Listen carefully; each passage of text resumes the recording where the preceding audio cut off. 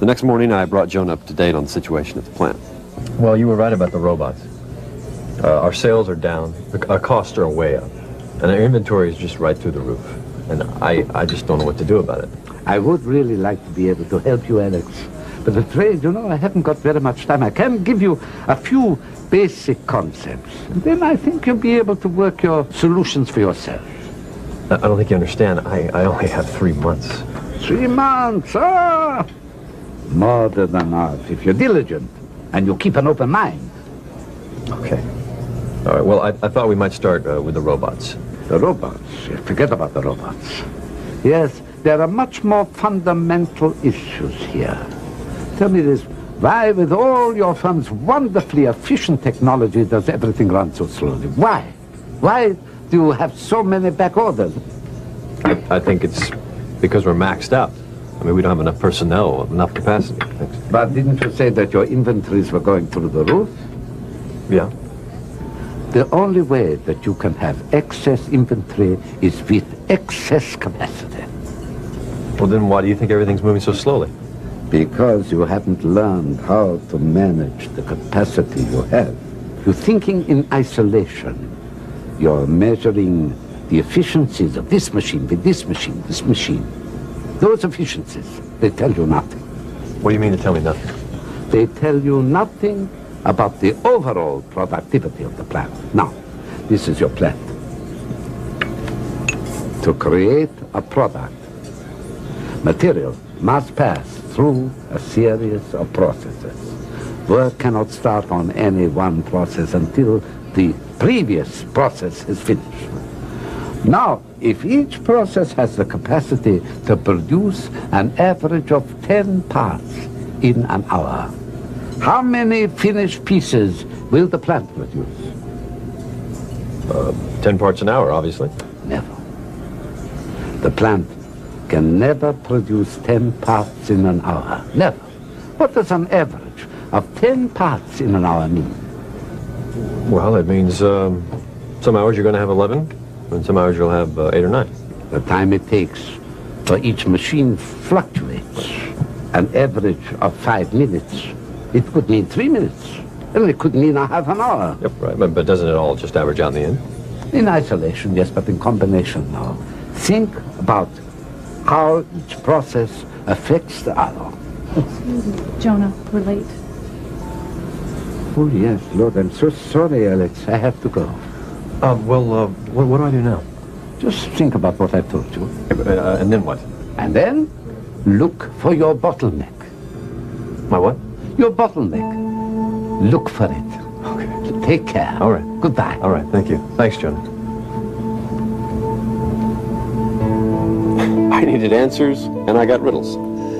But at least I got home for dinner, for a change.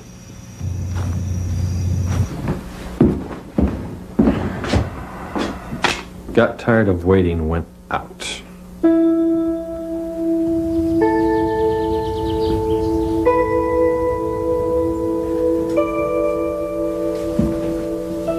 Dad. Dad, wake up. Huh? We're gonna be late for the hike. What hike? The hike to the ledges. You could volunteer you. Mm. Remember? Yeah. What time is it? 7.30. What are you doing sleeping down here? Oh. I was waiting for your mom to come home. She's upstairs sleeping. Come on, we're gonna be late. Yeah, okay. Let me get some clothes on, buddy.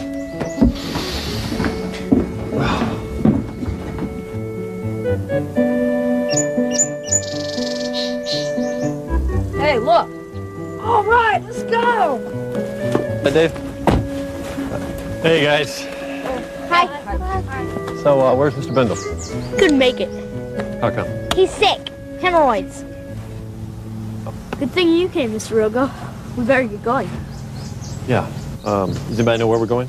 Um, here's the map. The trail starts over there.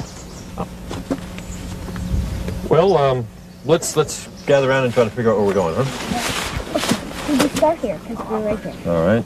It was a 10-mile hike. I figured that ought to take us five hours. No problem.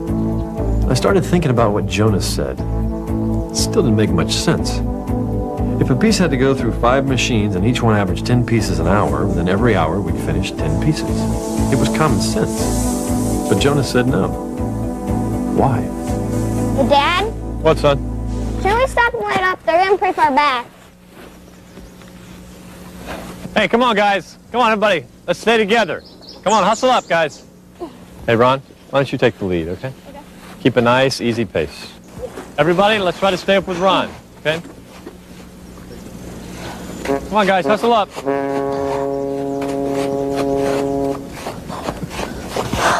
What's your name? Herbie, You okay, Herbie? no problem, Mr. Rogo. I can take it. Okay, back to Jonah. Now, what is it about machines working in combination that would slow them down? I mean, if on average, we each hike two miles an hour, then we should all get two miles every hour, right? Hey, Mr. Rogo, can we please take a break? Yeah, sure. Ron! Hold up! Guys. Come on, Herbie, hustle up. Hey, hold up, Ron. Come on, guys. Come on, Herbie, hustle up. Ron, I, I thought I said a nice, easy pace. That's What I'm doing. Okay, look, guys, we've really got to try to stay together, okay? Take five. Hang on. We've been hiking over two hours and we hadn't gone two miles. What was the deal?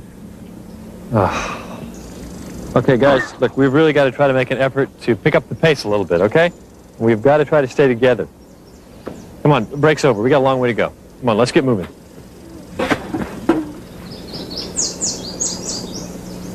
We hadn't gone a hundred yards before the gaps started to appear again. But this time Ron wasn't going too fast. He was going the same rate as everybody else. And Herbie was doing his best. So why were the kids still falling behind? Then it hit me. Whenever one kid slowed down, it slowed down all the kids behind him. And when he sped up again, it created a gap. The slowdowns got passed on to the entire group. It didn't matter how fast the kid in the front could hike. He'd only end up having to wait longer for the rest of us to catch up. Which meant that the group as a whole could never move any faster than the slowest hiker, Herbie, the bottleneck. Hey guys, hold up! Hold up! Come on, guys. Okay, look, guys. I have an idea. From here on in, Herbie is going to be our leader. No, you can't do this. He's the slowest. With him leading us, we'll never get there. No, but the point of the hike is not to see who gets there the fastest. It's for all of us to get there together. We're a team, okay? But the hike's not over until we all get there. Okay? You take the lead. And so off we went. Whenever a gap appeared, the kid in the back had enough reserve to catch up. We all stayed together.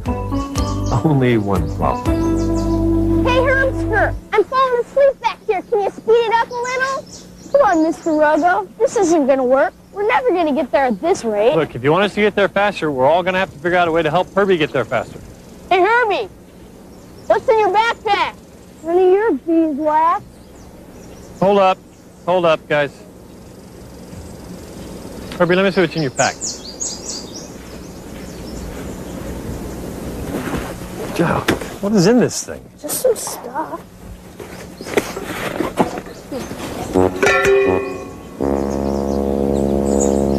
Son, what were you thinking here? I just want to be prepared.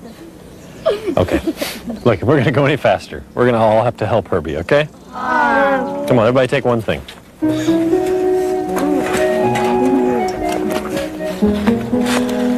How's that? Much better. All right, troop, forward march. Well, after relieving Herbie of his pack, we covered the last four miles in just over two hours. What's more, I was beginning to get some clue about Jonah's riddle. The key to unleashing hidden resources was to find the bottleneck and do whatever you could to help it move faster. It worked with a bunch of Boy Scouts. But how was I going to make it work at the plant?